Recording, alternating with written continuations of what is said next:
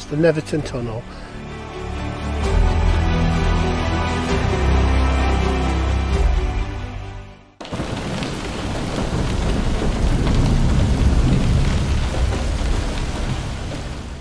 Good morning, one and all, one and all, and we are at the airport. It's uh, actually just check the time. It is uh, eight o'clock. Eight o'clock in the morning. Brendan's up, which is quite surprising, but you know, because he does like a lion. That boy does. But I was up before you. I'll have you know. uh, you, were- I was up, but yeah, I bet he was. So what you're looking at here is a field. It, to be honest with you, now it looks like it looks like it looks like the uh, the rice fields of Cambodia or somewhere, doesn't it? With it being so flooded. Anyway, um, this is a disused World War II airfield. Now, these airfields were placed in locations where they could actually provide the best amount of um, you know protection against any kind of invasion. Um, so this was a perfect location for South Wales anyway. Um, as we know up in Anglesey we've got um, RAF Valley but this is long since gone and Brendan said should we come this way come this way would this be better apart from it being flooded yeah look at him now this ain't a great idea look at it Should we go back the other way? Uh, yeah Come on then. Anyway, I haven't got any digital image stabilization today on this phone, unfortunately. It'll look more raw. W- Yeah, yeah. So no, no, no, uh, no Osmo Pocket because the SD card's full. So Brendan suggested I do it on my phone. We'll see how that works out. So just down here now, on the right-hand side, um, is the runway itself um, as we come down and this has not been used this is uh, there's a few sort of um, hangars and stuff left here but other than that there's nothing nothing really left here. But a lot of these airfields especially places like Long Marston and places like that are all been sold off to developers now. Um, Woodford in the Woodford Aerodrome over in uh, Cheshire that's been sold off as well um, to developers. But this one is pretty much gone unscathed. But anyway you can see how these runways are constructed and they're constructed with um, like a like a concrete pour. They- they're almost like squares as you can see. And they're all poured. And then there's a join, jointing compound between them. So now we're just coming up to the runway now. There you go. That is just incredible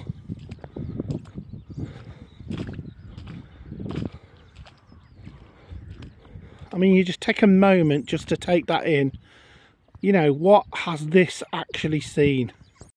So each of these concrete sections were cast individually and then there was a sort of compound joining compound between them like a, like, a sort of tar solution. Um, and we're coming up to now where the rumps the first section of the runway because the runway is in a big A shape so you can see here where the two sections of runway actually join up here.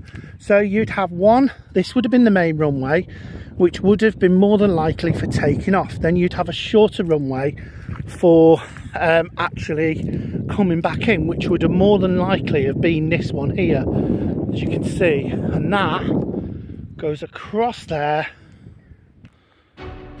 as you can see RAF St David's was opened in the autumn of 1943 and it was classed as an RAF coastal command base. Many bombers were seen leaving and coming in from this location, such as Halifax bombers, Liberators, and Fortresses. The advantage of this airfield is that it sat right on the edge of the South Wales coast and it enabled it to be a perfect location for battles, and one battle in particular was the Battle of the Atlantic. Later, this location was used by the Royal Navy and then by the mid 1990s it was surplus to requirements like a lot of other airfields in the UK. And it was bought by the um, national parks and it became an SSSI, a site of special scientific interest, um, and that's how it is now. A great location for wildlife and habitats.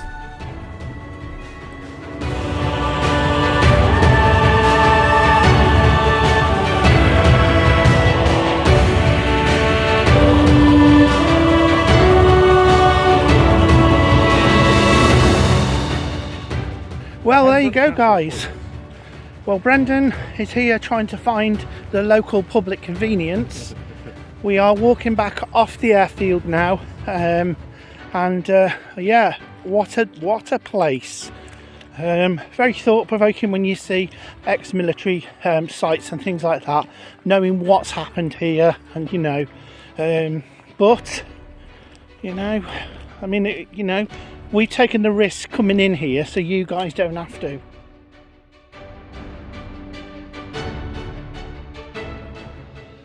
Stopped at Swagswalski Beach, and um, yeah, we're gonna have a little look. We did see it coming down. It looked quite quite spectacular with the little islands and outcrops of rock and stuff. Can't not it.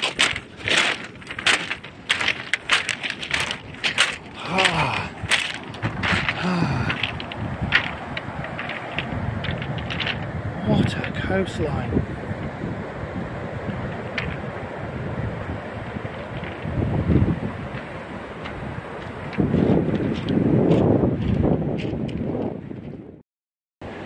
Pretty amazing, isn't it? yeah, what a spot. We don't even know where we are, do we? I think it's called uh, Newgale. Newdale.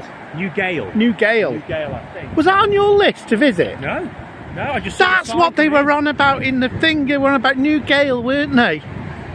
In the chocolate shop of where, where to park. Oh, were they? Newgale, yes. Oh, okay. That's so it. I can. I like where we were. I don't know. Look at that. Yeah. I need some pebbles for my garden, you know. Oh, you think you're allowed to take them? You won't be shorter than me, mate.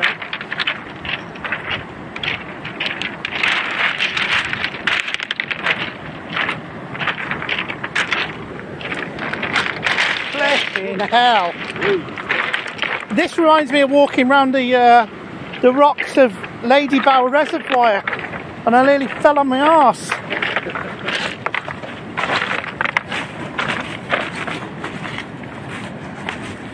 Yes, we're on the beach. Ah. It does feel like Steve's Monumental Adventure North Wales special when I'm filming the whole I'm filming an entire series on the coast of North Wales in this kind of weather. You know what this calls for? What? Oh, we're We're going on a summer holiday. No more worries for a week or two. Sun and laughter on a summer holiday. And what do we do for a week or two? Oh. We're going where the sun's not shining. We're going. going where it's raining all the time. but it's all about the company. Certainly. Brendan and Steve. well, there you go, Newgale Beach. Well, guys, we have now stopped. We are in Pembroke, in Pembrokeshire. I don't even know if this is the high street, but what I do know is this has got the longest one-way system I've ever seen. Anyway, you can see Pembroke Castle just over there, look. Just in the distance. We're parked up here. We've checked the sign. It says one hour. So, there you go. Lovely, jubbly. And then we're going to have a walk up to the castle. There we go. Pembroke Castle. There you go. And look at this, right next door is an old drill hole, look. But look at the place. Wow, it's got a very Warwick Castle kind of vibe about it, look. Yes, very Warwick Castle. Big green in front of it. There we go. Oh, I bet you love my shaky footage. Look at that. Brendan, look at that. His priority right now is going for a poo.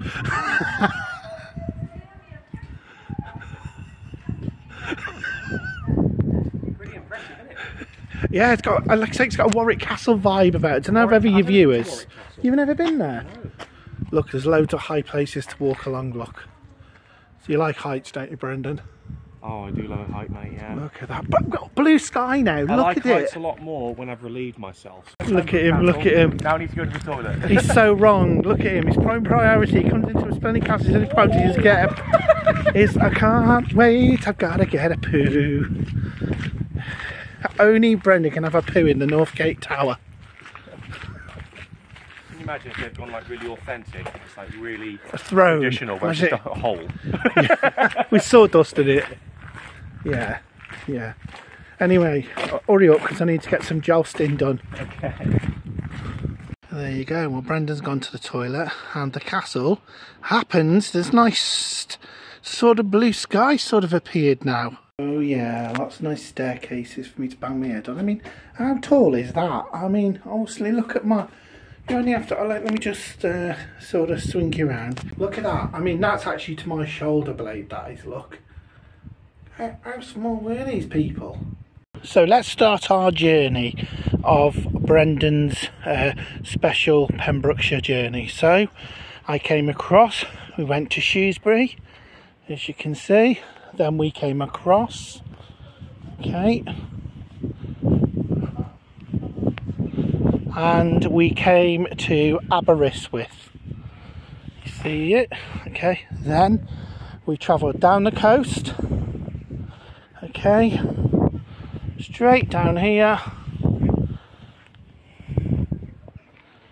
to Cilgerran Castle. We've come along to St David's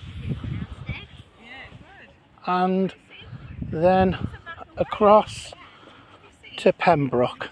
Okay, there we go. And God knows where he's going to be taking us next but I guess it's over this, back over this. Actually, when you look at it, you realise how far you're away from home. But this does map all of the castles out in the in the area. I won't tell Brendan about this. I'll let it be my little thing. How we enter the North Tower first. Go on, then let's enter the... Mind your head though. Actually, you've got that wrong. What? The North Gate. North Gate Tower. Get it right. Mind your head. I mean, honestly, look at the height difference there between me. That'd take my face off. Anyway, here we've got a nice spiral staircase here. Look. Oh God. Lovely windows with no wa- no glass in them. Uh, Wow. Right, So level number one. What we got here? Were they particularly small back in those times? Oh yeah, yeah. Height is just when people like me came along. Look at this.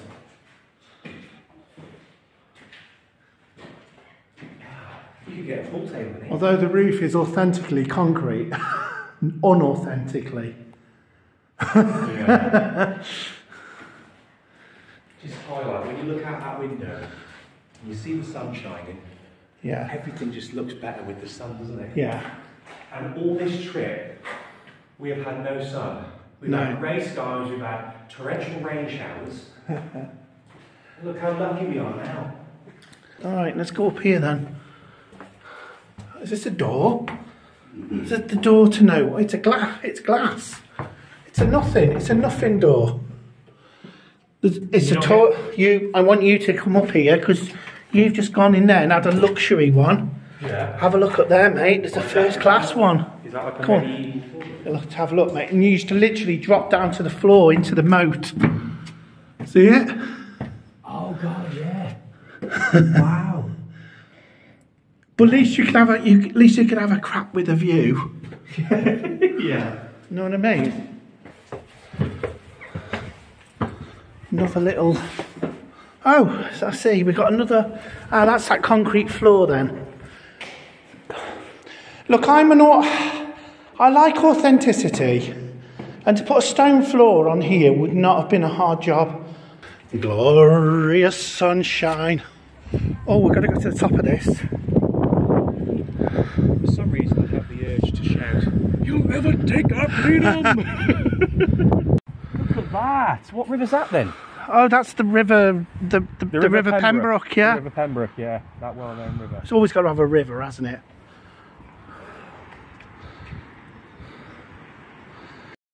Just coming into another tower. Oh, I tell you what. Projector that thing. Oh, Palaces and gunpowder were making fortifications like this old-fashioned in the Tudor age. oh, it's a lovely Welsh boy. Oh. Oh. Oh, doesn't this remind you of uh, Travelodge or Shrewsbury? The main corridor. Oh my god. What would this be then? Just like, a, like, a, like an escape tunnel through the other Well. parts of the castle? You'd think there'd be quarters off here, wouldn't you? Get a vaulted ceiling as well. Like a sprayed you what, concrete. if you're claustrophobic, Yeah. you wouldn't come here. Oh, I still don't know. Ah. Please take your throne. I turned around. I wasn't expecting it to be sat there. Are you a queen? Is this the Queen's throne? yeah. Right near the Queen. I'm the king. it's quite funny, isn't it? I mean, obviously, this would have been looked not nice. It would be nice plaster on the wall. It would look beautiful, chandeliers hanging down and what have you. Do Like, you, do you feel quite regal sat there? no, it's a very uncomfortable chair. I mean, there's no padding on it at all. But then they were used to riding around on horses, weren't they? Yeah, that's true. you know. But no, you just sort of think about the history. You know, it's hard to fathom, isn't it, of what went on in here? Th- th- This is what was talked about. You know, this little parlour area. Mm-hmm. Yeah. Arise, Sir Brendan. Are you ready to be knighted with my special sword? So what's he saying to him? He's got the knife, she's got the bowl, so she's saying, Here, he's going, Look, don't give her anything, right? And she's going, Please, let me have something. No. Come on, let me have something. Just share me a little bit. You've got your own up there. Not far. It's not your. It's not my fault you're a vegetarian. and that piper can piss off. I mean, you can't concentrate. You can't. He's saying we can't have a conversation. Some of those. This guy. I mean, she's she's stopping him from lamping her. Yeah, yeah. No, Derek. Is that a woman? I don't know. I don't And know. I'm thinking, I don't know. I'm thinking, you can't get. He, he can't hear himself speak because of that piper in the background. You don't need that while you're eating, do you? He's definitely angry though. He's got a knife in his hand. He's ready to kill. Yeah. I mean, you'd have a knife amnesty here. We're going to role play here. Yeah. I'll do the voice of me, you do the voice of my dad, alright? Yeah. But Dad, I don't want to go and back out the chickens. Boy, that's what you're destined to do. Well, I've decided. I think I want a career change. I want to be an influencer. An influencer?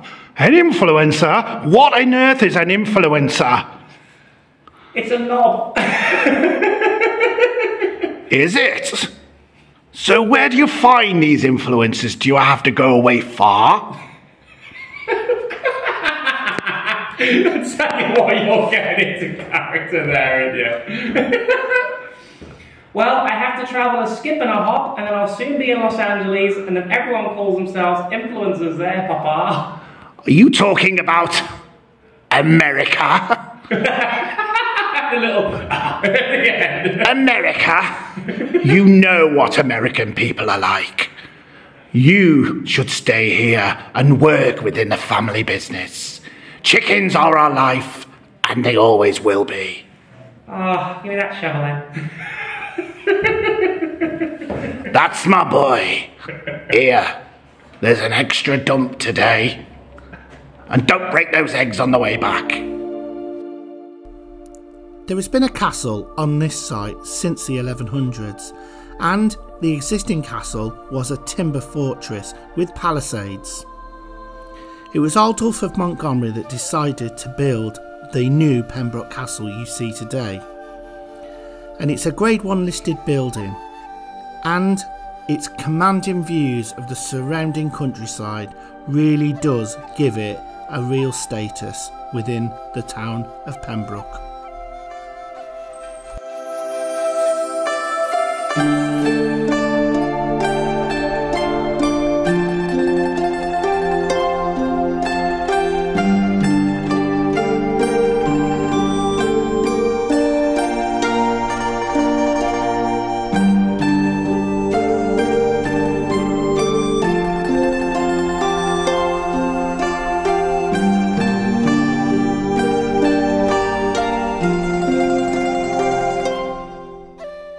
Well, there we go. A quick look around Pembroke Castle. Um, I mean, this you probably need a good few hours here, really, to have a, to really appreciate it. Um, but I think I'll put it on my list to come back to uh, have a real good sort of look around. All right, so we're going to head towards the entrance now and head to a little place called Tenby. Well, I think me and Brendan have had a difference of opinion on the on. We've come to Tenby and to where Brendan wanted to park, it's literally two pound for two hours, four pound for two hours. That makes it a pound. That makes it, doesn't it?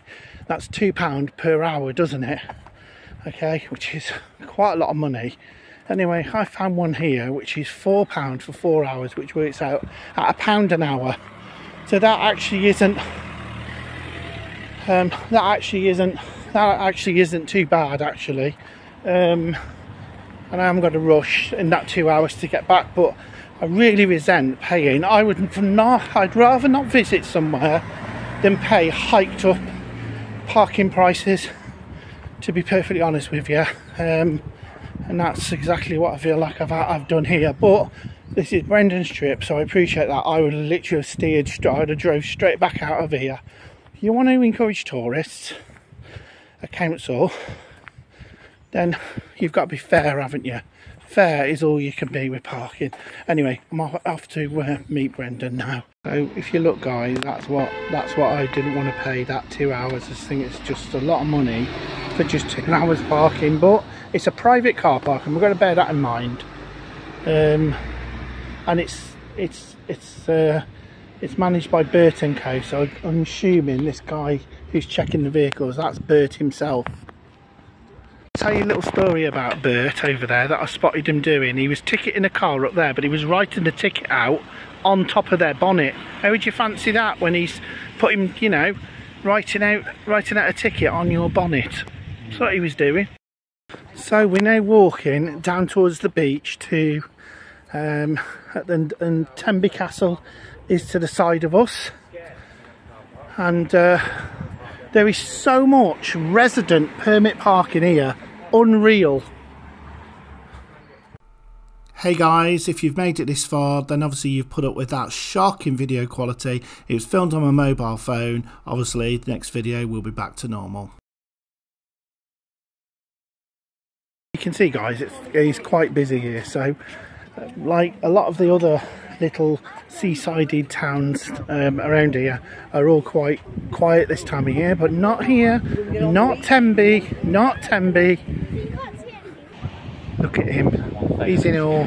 He's in awe aren't you? I am mate, this is brilliant. This is this is beautiful.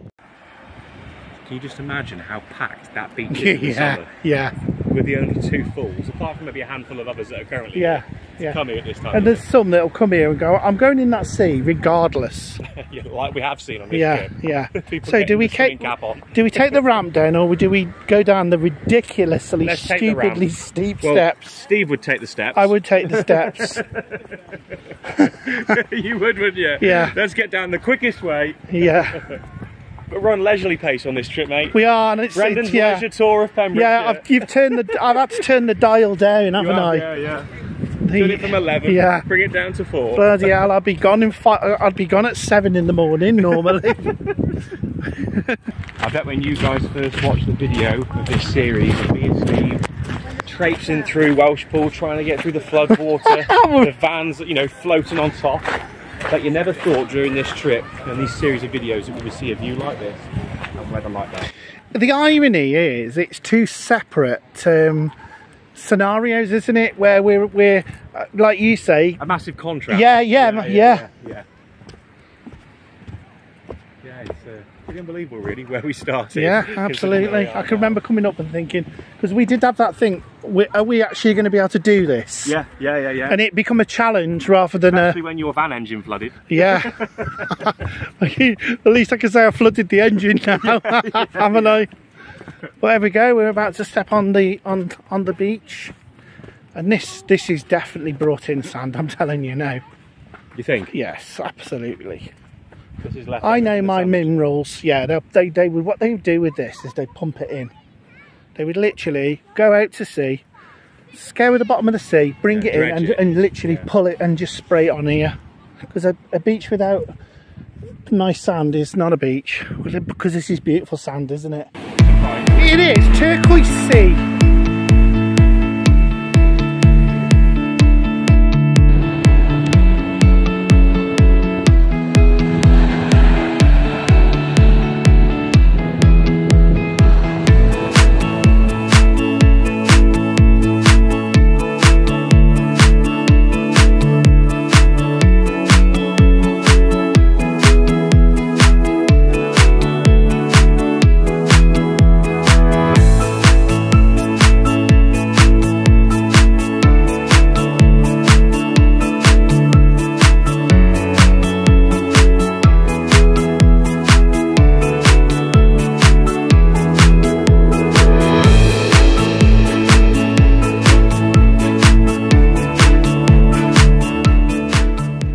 Well, that is it. The end of the South Wales trip. And I'm just walking back to the van at Tenby. We've got two different destinations. Mine's Telford and Brendan's is Shrewsbury. So we'll just see what sort of direction it, it, it takes us both in. Um, but been a great trip. Great. Apart from the extortionate parking, um, Tenby has not disappointed. Uh, We haven't been into the town centre or anything yet, but you know these town centres are pretty dreary. These um, these um, seaside sort of destinations. Anyway, so I don't think we're missing much. Anyway, I'm going back to the, the van now, and uh, we'll make our way back to Telford.